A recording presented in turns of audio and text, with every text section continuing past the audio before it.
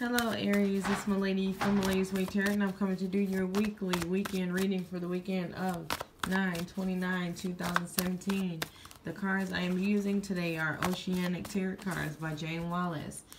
Um, I want to thank everybody for like, sharing, subscribing, and setting up personal readings with me. If you'd like a personal reading, check in the description box below. Email me and we can set something up. Other than that, let's get this show on the road.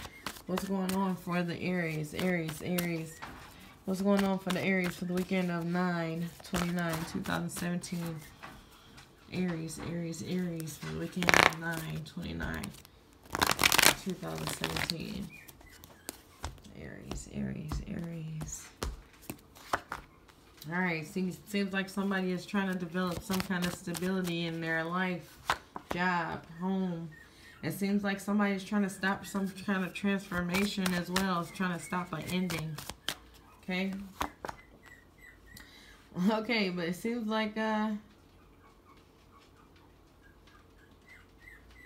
Okay, seems like you you got some stability in your house, uh, life, happiness, and it seems like somebody's trying to stop something from changing, you know. But it's like you got everything you need right now, but it's still like some things you should change, but you're not ready to change. And I feel like it may be some type of addictions, possibly.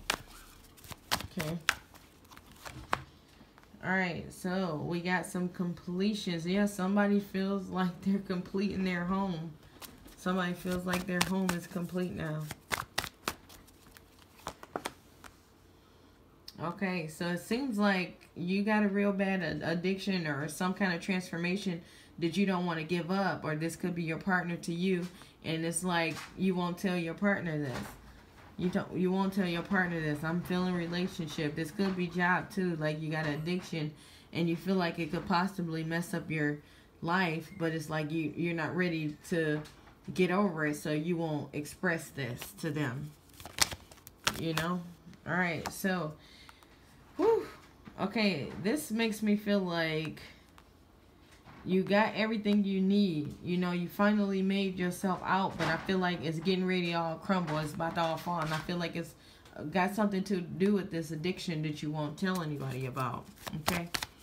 Aries, Aries, Aries. What's going on for Aries for the weekend of 9-29-2017. All right. Okay, yes, it seems like you're trying to rebuild from a, a, a tower moment.